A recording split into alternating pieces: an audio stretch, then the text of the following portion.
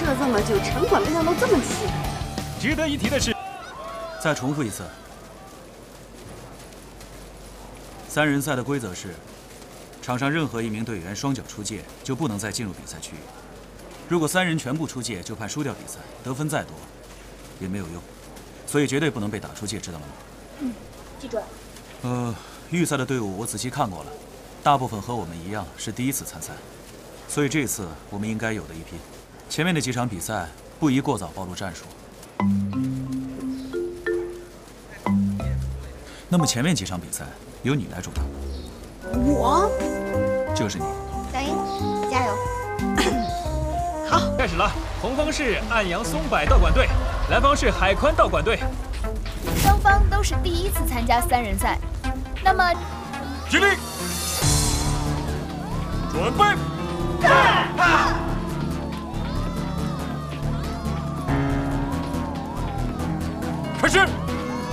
赛开始了。首先我们可以看得出来啊，这两个队伍对三人赛的战法都不是很了解，因此一开始选择的都是直线进攻，三名选手形成一个平面，话就失去了三人赛的趣味了。没错。哎，等一下，红方暗阳松柏队改变了阵法。哎，就这个阵法来看，其实红方是认真研究过三人赛的战法的，这是典型的罗马军团式。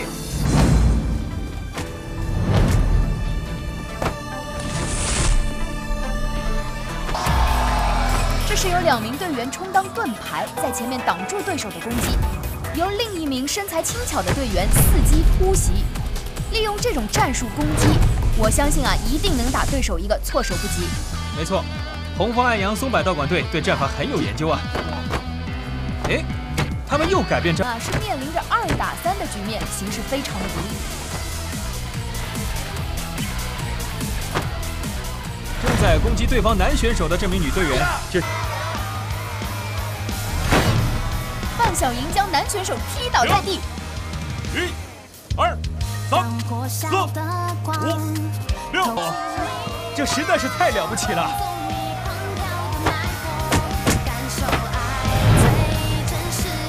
走。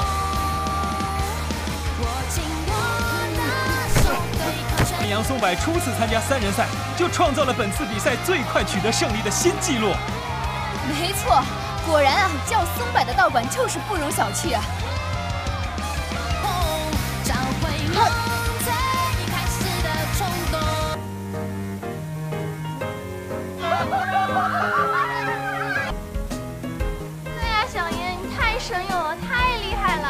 简直是我们松柏秘密大杀器！你居然可以把我化腐朽为神奇！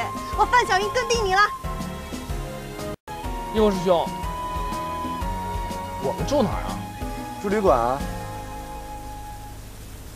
哥们，你不会是没带钱吧？我们存的零花钱能买个机票就已经很不错了，好不好？本来呢，我爸妈给我的信用卡额度是够的，可现在是打折季，人家没忍住，信用卡也刷爆了。那好吧，大家就凑合一下吧。女生就跟我和小英挤一下，男生就跟长安教练和一峰师兄挤一间，好吧？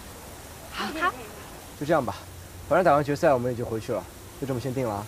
我们可以邀请全球各地的选手和观众来参与我们的活动。您看，常教练，常教练，你别走啊！长安教练，集体活动一起参加呀！是啊，长安教练，一起吧。都不是问题，你们一定可以通过这座铁索桥。那么下面比赛就要开始了，你们都准备好了吗？准备好了，Ready。